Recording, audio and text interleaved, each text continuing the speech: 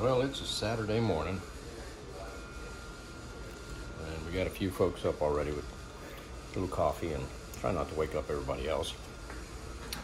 Somebody's probably jumped in and taken a shower, so you hear the water pump kicking away.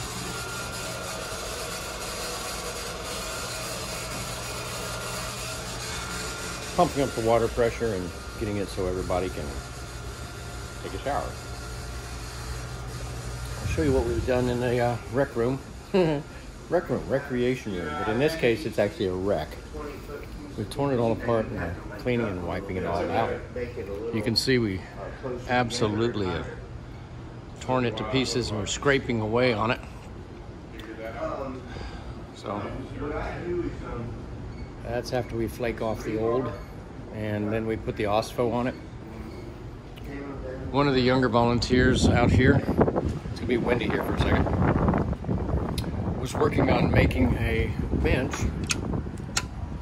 so that we could actually move some of the vegetables and garden stuff off of the workbench in the back.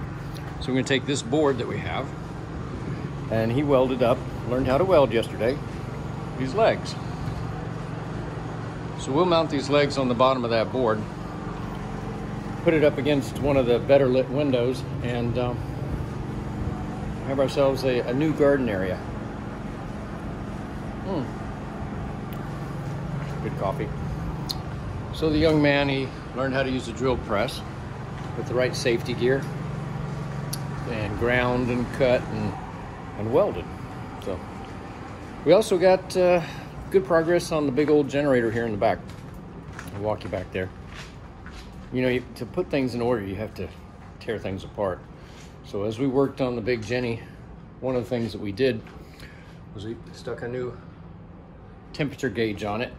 And also, uh, with the help of one of our volunteers who's got about 30 years experience working on Detroit diesels, we were able to figure out how to adjust the speed control. It's still set a little high, but we can actually hit the button, which I won't do because everybody's still asleep. That would not be nice. And it will start up, automatically set its speed. Currently it's set to 1440 and we need it down to 1200. So we know how to adjust it now. So, like I say, two steps forward, one step back, two steps forward, one step back. Isn't that life? It's kind of how it is. You know, with all the nonsense that's going on in the news nowadays, it's kind of nice to have something that's just straightforward and simple. Like uh, resistance heating. How's that for a segue? Here's the old resistance heaters that were all along the walls. They take a lot of wattage, about 18,000 watts when they're all turned on, and they will make a room nice and toasty. And they're just like I don't know. They're like an iron.